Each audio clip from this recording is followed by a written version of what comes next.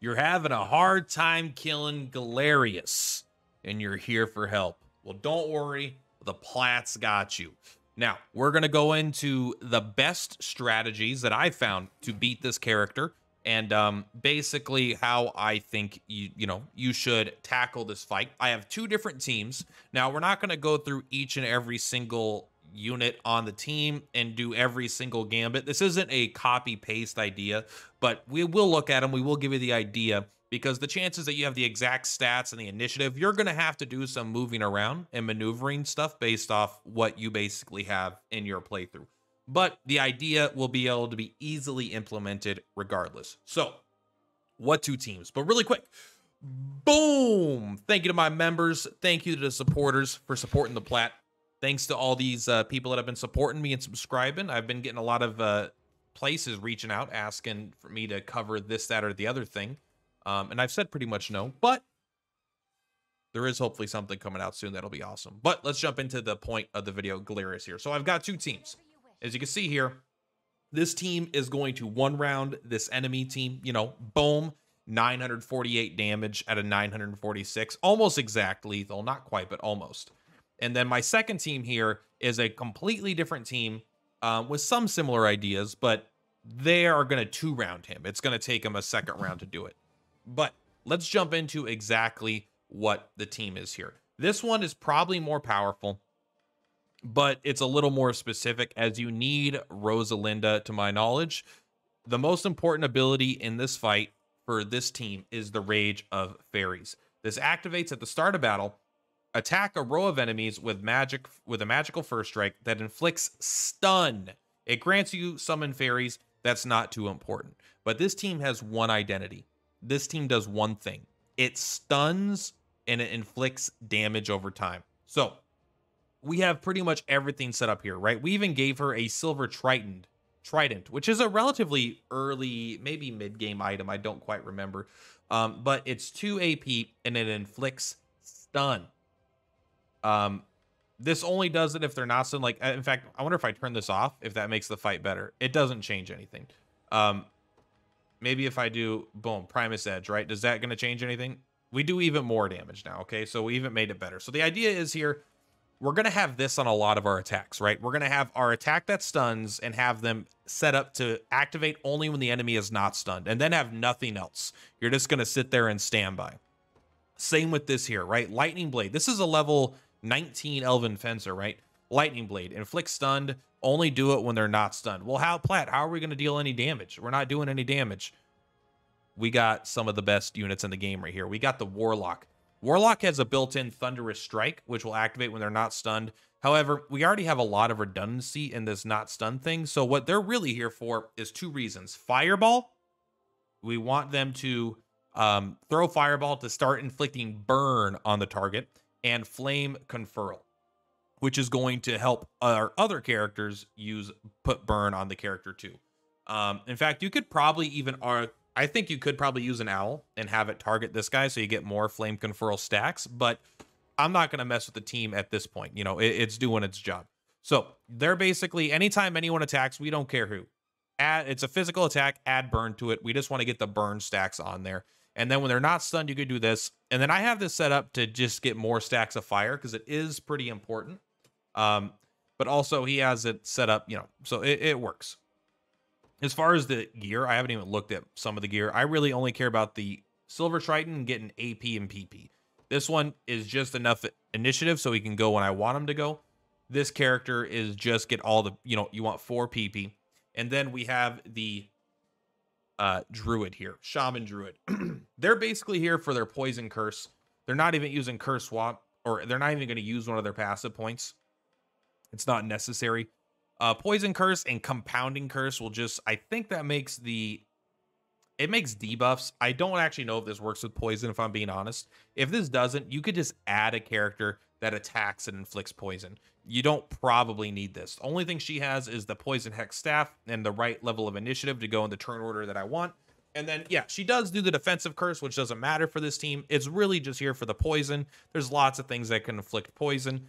Um, I'd like compounding curse because when it said debuffs, I was including fire and uh, poison, but I actually don't think this works now that I, if I remember the playback, because I tested these fights first. And then finally, we have a Thunderbrand Tome on a second war, uh, Warlock doing basically the exact same thing as the first, right? If they're not stunned, you stun them. If they're otherwise, you just fireball them. This one, I think they just end up fireballing them. I don't quite remember the turn order on this one. But then you're going to use your PP to help inflict stun when they're not stunned. We'll take a look and see if this is activating randomly or only when the enemy is not stunned. Um, just using overall powerful stuff, trying to get that PP. That is this team. So we'll show you how each team goes through, and then we'll switch the idea up here. But the reason why this team works, if you turn this off, Rage of Fairies, take a look at this. We we do no damage, right? Literally, we take 1200 damage. That's how important this ability is. Because what this does is before he goes, as long as you have higher initiative, you stun him before he activates his giant shield. Because one of the very first things he's going to do, when literally the first thing he's going to do at the start of battle, completely negate up to six hits. That is a lot of hits. And so, but if you stun him and you prevent him from ever using that, he never gets the shield. And then you stack a bunch of fire and poison on him, and then every turn he's stunned, he's incapacitated, but he will still take debuff damage. He will take the take the fire damage, he'll take the poison damage, and then we're not really doing that much damage. We're basically letting the dots kill him because he has so much HP and he's going to be stunned for so long that we're basically never going to give him a turn. So I've already saved this. Um, we'll go ahead and show this fight first, and then we will reload and we will show you the other team in the other fight. So maybe I'll even do a timestamp. Who knows? But let's take a look at this fight. So and again, this isn't specifically mm-hmm. about the the gambits and the team itself. The this elven lady is important for this team, but I have another team that includes just generic units or units that you can get regardless if you don't have her. That way you have an idea. So Rage of Fairies, most important. Boom, one damage, he's stunned. You're just gonna stand there. You're gonna fireball. Burn level one. We don't even care about the damage. We just care about the poison and the burn. They're poisoned you're going to stand by. It's, a, it's not a fast fight. It's not a fast fight, but it is a good fight. Oh, so he unstunned because this guy's slow. He's not going to cast any fireballs, but you're going to get that extra stun in there, which is probably good. This elf is just up here. Doing his thing. Compounding curse. Does this actually work? I don't know, but I'm hoping it does. We got a fairy. The poison's doing 85. I don't know if that's what it was doing before. But the burn is definitely not doing any more damage. So lightning blade, boom. He guarded, but it doesn't matter. You're still stunned. You're just going to do burn level four. And now we're pretty much out of AP. We're just sitting here like this, right? He's incapacitated. And now we're going to lightning blade. I guess we're going to do flame conferral too. Unless we haven't done that many attacks. You can see we're actually not even using the lightning conferral, which is kind of funny because all of our stuff is set up to stun. Except for this one, I guess.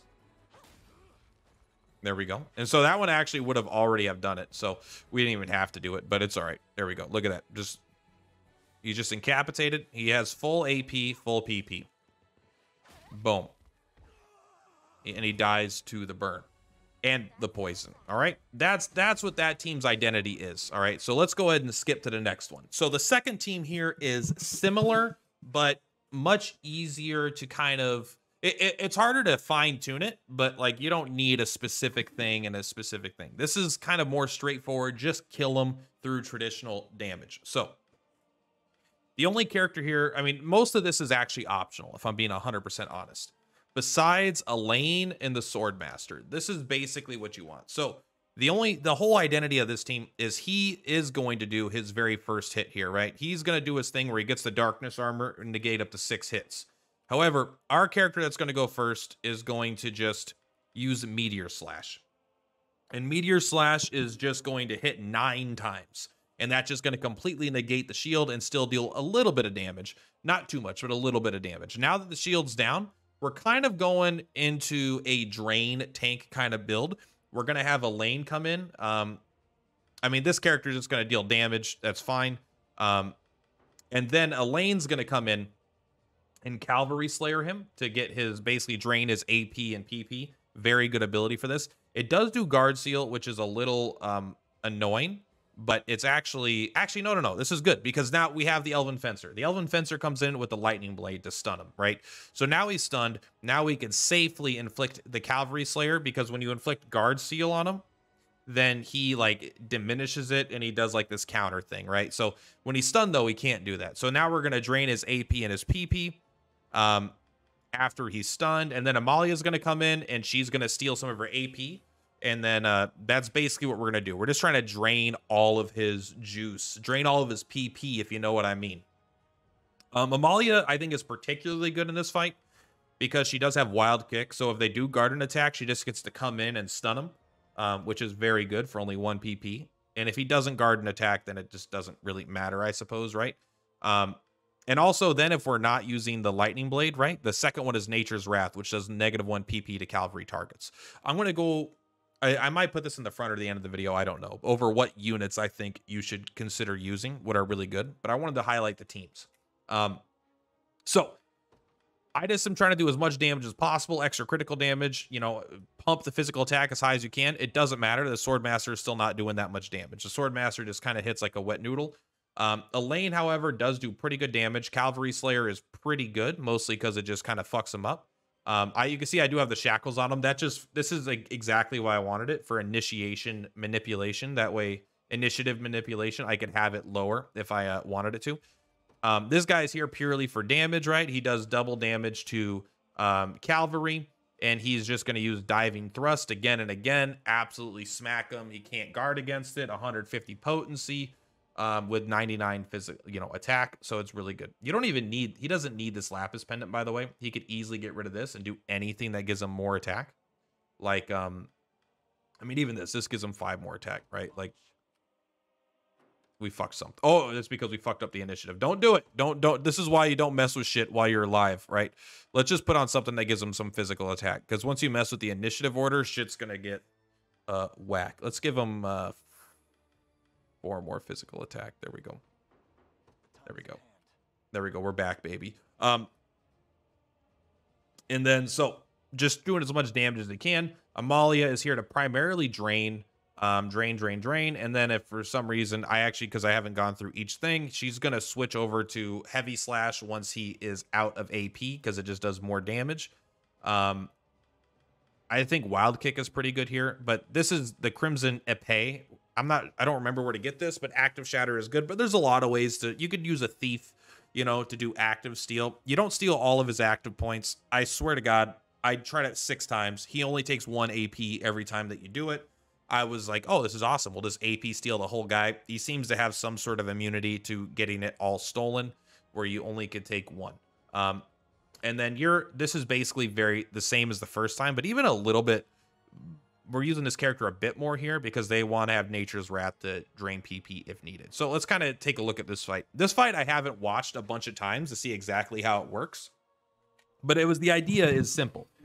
This idea is you he puts up a big shield, you destroy the shield, and then you just defeat him by trying to drain his AP and PP secondarily, and then deal as much damage as possible thirdly.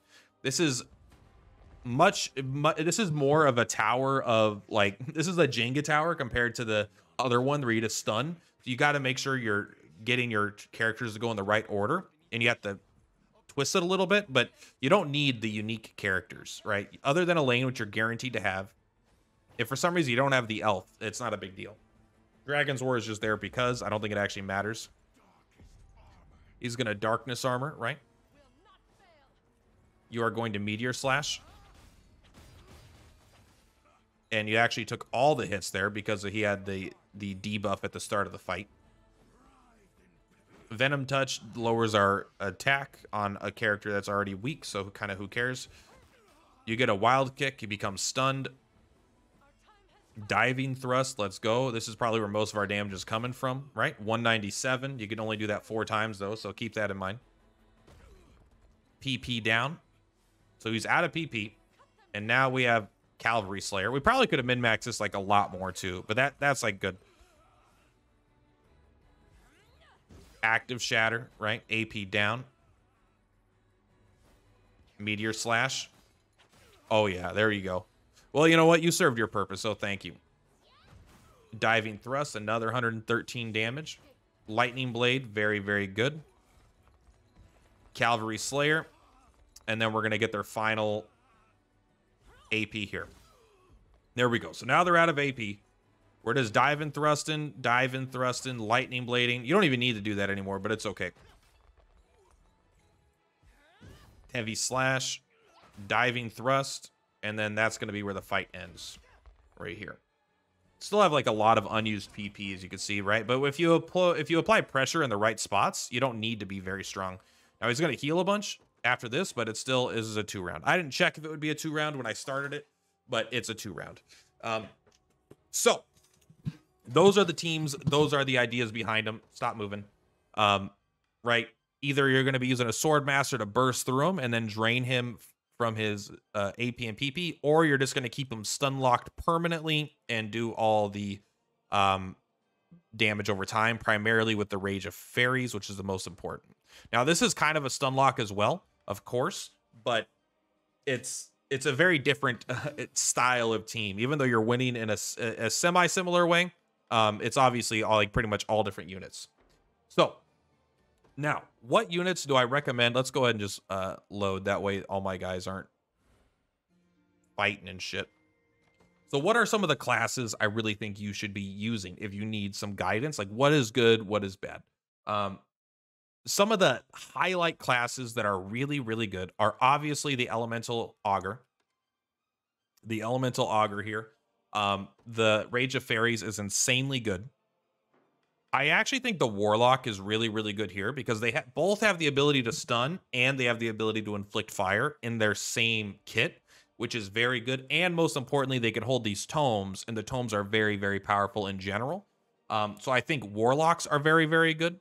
I think Elven Augurs are really, really good. Elven Fencers are hugely good for this fight because they have a ability to stun on a 1 AP and it's pretty decent damage too. I mean, even mine's only like level 20 and it, but so it didn't matter, but this being able to just go every round and just keep them stunned is absolutely broken. Not to mention if you have two elven fencers, the second one could just be draining PP the whole time, right? Now it does magic, so it's probably lower damage, but once you get out of their PP, that's also pretty good. Um, Swordmaster very very powerful in this fight as well. Mostly just because yes, they they they they kind of flip their little wrist around and deal one damage a lot of times. At least mine, even with like good shit on, and getting crits and stuff. They're just I mine's not a high enough level probably, but they they are just kind of weak physical attack. But the idea is here the meteor slash is very very strong. The meteor slash will just destroy the shield in front of him. That way you don't need to worry about that. Alain is obviously strong in every fight in the entire game. However, this is a fight where Cavalry Slayer is incredibly good because this guy is on a horse. He is cavalry. I mean, we could we could see that visually, but also just go here. He is cavalry, does double damage to normal things, um, to infantry, thus making the Wyvern Master also very good. Now, obviously, these are the units I'm using. Are there any units I wasn't using that I was that I would consider? Um, I mean, you don't you don't really care about freeze or guard seal or anything like that. You mostly care about things that can stun. You care about just dealing a bunch of damage. You don't like a lot of units that are good aren't necessarily good in this fight. Like I didn't find Alania that particularly good. Um, things that are just kind of like value engines, I didn't find to be that good. You mostly wanted to cheese this fight um, by keeping him stunned. So you know, actually, cavalry could be good they're not insane, but they do have Wild Rush, right? So they have the ability to stun. This doesn't do insane damage. I'd rather use the Elven Fencer probably.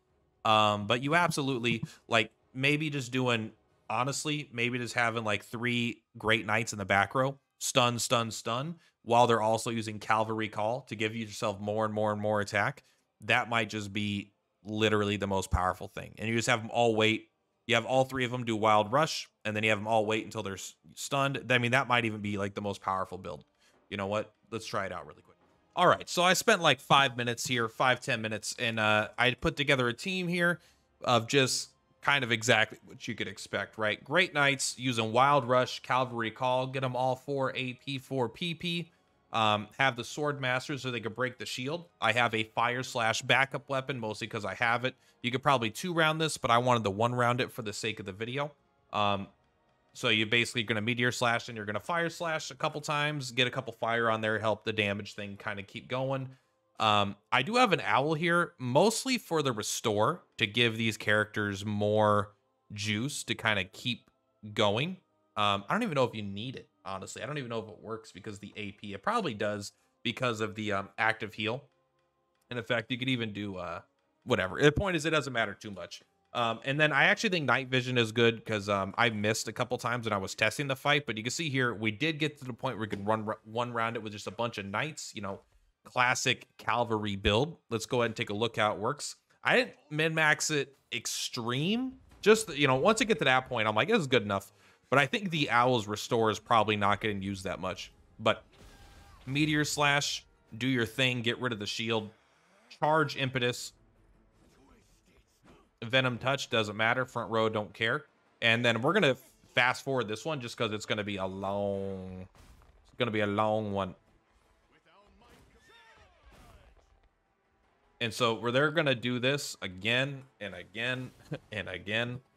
I wonder how much if it's gonna be mostly the uh freaking also they didn't even use they're not even using restore. I guess the restore doesn't work if you're trying to use it before I don't know, like uh, before an attack because it, it hasn't worked on everything. It seems like restore maybe is more restrictive than I thought it was. But there we go. Everyone's just waiting, right? If they're not stunned, they're waiting. And eventually my characters will die to the poison because we're drawing this fight out as long as we can. And then the last character that's going to go is actually our character Guy, who has the highest physical attack. Um, but I mean, this was just kind of like an add-on build, right? Just trying to give you an idea of which characters are good, right? Stun, do a little bit of damage over time, just keep them stunned, keep hitting them again and again. And this is a scaling threat, so I mean, it scales up until you're out of AP and PP. But he's hitting for 45 a hit now, right? And so now let's see, what is he? This is our strongest one. He's hitting through a 66 through the guard. He even has an extra AP there. 133 crit. I mean, yeah, he still had another two hits in him at least. So as you can see here, like it's a tough fight, but as once you understand the key weaknesses, which is stun, and then basically stun, and then lots of damage over time, and then you'll be set. Sorry, no spoilers. Um, but yeah, that's this fight. So really quick before we end the video, uh, spoiler warning, but um, in case someone asks, why am I doing this fight and not the actual final fight of the game against Baltro? I just I found that fight to be super easy. I didn't have to change anything. I mostly just had I just had a team already that wasn't the team for this fight. They just one shot him, right? It was like nothing. So if that's a fight that you guys are struggling with, let me know. I could do a guide for that one probably. I would have to go and kind of learn the fight because I didn't have to learn it. I just bypassed it. This fight I really had to learn because it is like you need to be pretty specific with how your turn orders go. It's definitely a super tough uh, fight, I think. So that's why we did that fight instead of this. But anyway, that's all for today. Much love. Purplatypus is per platypus. I'll see you on the flip flops. You guys have a good one. And I appreciate you guys watching my guide content. Peace. Oh, also like and share and subscribe, uh, all that stuff. And uh, yeah, if you if you want to help support the plat, you could either do it financially or you could just share the video around, have or watch another video. You know, if you just watch one more video today, that's a huge way to support the plat. If my views got doubled, oh, buddy, we'd be talking. Anyway, see you guys on the flip flop. Bye.